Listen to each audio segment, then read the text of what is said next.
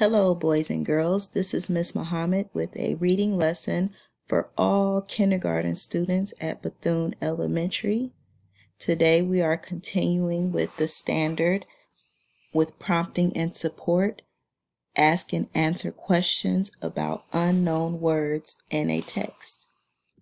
Our learning target today is I can use text evidence to answer questions about unknown words and determine their meanings. You say it with me. I can use text evidence to answer questions about unknown words and their meanings. Why do we need to identify unknown words and their meanings? It's important it's important to identify words that you don't know while reading to help you understand what you're reading better. So we're not going to just skip over the words that we don't know. We're going to use our clues to figure out the words that we don't understand. What questions can we ask ourselves to help us figure out words that we don't know while reading? Remember to ask yourself these questions. What clues can I find in the words?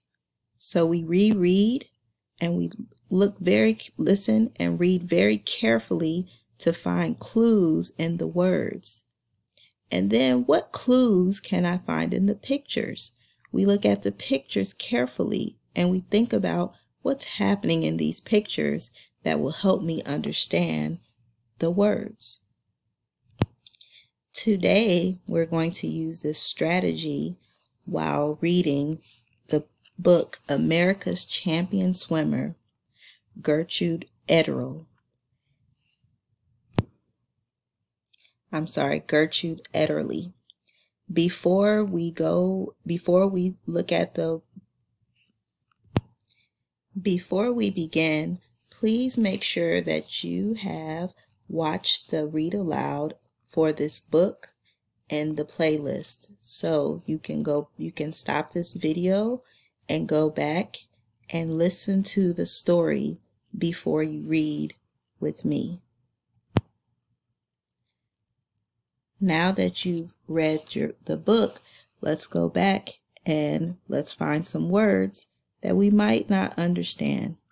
So, in this book, American's Champion Swimmer, we learned about a woman who became one of the greatest swimmers ever.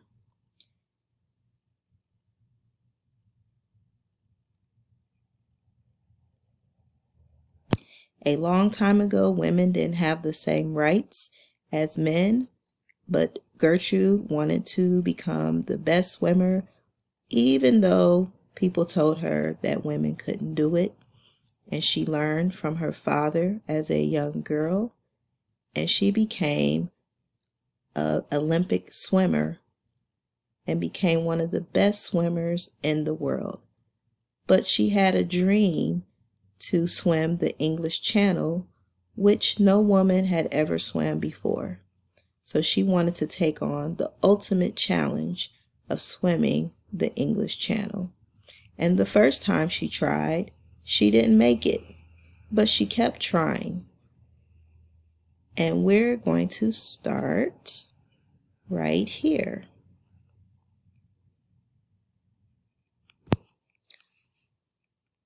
Now Trudy began to have trouble kicking in the water. When the Alsace came close again, Trudy said her left leg had become stiff. Her trainer was frightened for her. He yelled, You must come out. What for? Trudy shouted and kept swimming.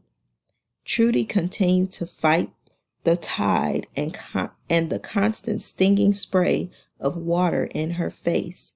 She knew that she would either swim the channel or drown. Now, I found a word that I'm not sure what it means, and that word is trainer. The words say that Trudy's trainer was frightened for her and yelled for her to come out. Hmm. So those are the clues from the words that tells me what a trainer is. So the trainer was one of these people that was frightened for her and yelling for her to come out. Then what picture clues can I find? I see three people yelling to Trudy, but one of them is moving his arm. I think that man is Trudy's trainer. And I think that man helps Trudy become a good swimmer. He helps her with her swimming and he tries to keep her safe. So when I think about all of the clues, I think a trainer means a person who coaches or helps keeps another person safe. So I think this guy right here is Trudy is Gertrude's trainer and he's teaching her, he's her trainer. He teaches her how to swim, and he's the person that helps her know what to do in this dangerous situation. You can also find picture clues on other pages. If you heard the word trainer on another page, we can go back and we can find the word trainer and we can use those clues as well to help us understand what a trainer is. Here's another picture of the trainer helping her in the water. So we know a person who is a trainer is someone who helps to teach us something that we need help learning how to do. Now you use the word trainer in a sentence. Pause the video and try to use the word trainer in a sentence. Tell your sentence to someone in your house. Now I want you to practice identifying the meaning of an unknown word. The word that we're going to determine the meaning for is shore. I'm going to read a small part from this page and I want you to use your picture clues and the words to determine the meaning of shore.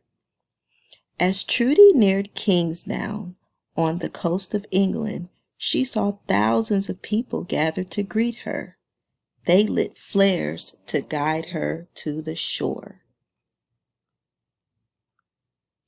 Use those words and picture clues to determine the meaning of shore. Which picture shows a shore? Think about the picture clues and what we read about what a shore is and think about which one of these pictures shows a shore. That's all for today, boys and girls. Remember, we're learning how to determine unknown words in a text, and we will continue tomorrow using a different text to determine unknown words.